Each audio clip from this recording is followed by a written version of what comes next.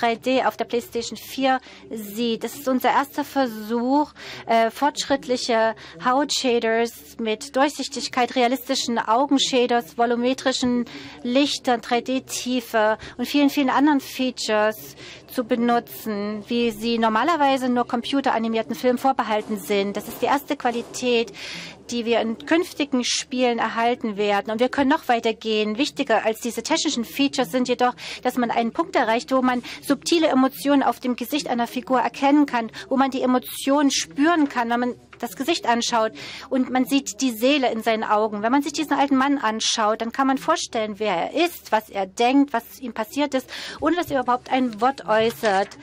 Mit der PS4